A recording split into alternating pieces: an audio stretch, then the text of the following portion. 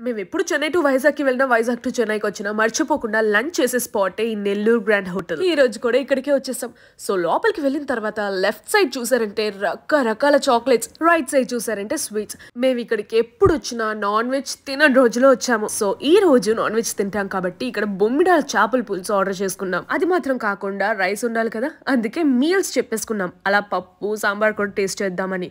కానీ నేనైతే పప్పు సాంబార్ పక్కన పెట్టేసి ఫస్ట్ చేపల పులుసు వేసుకున్నాను. టేస్ట్ అయితే అబ్బా పుల్ల పుల్లగా కారం కారంగా నాకు నచ్చినట్టు ఉండింది. కానీ ఇన్నుండగా వర్షిని ఏం చేసిందో తెలుసా? పొడి నెయ్యి వేసుకొని కలుపుకొని తినింది. మాత్రం టాప్ నాచ్.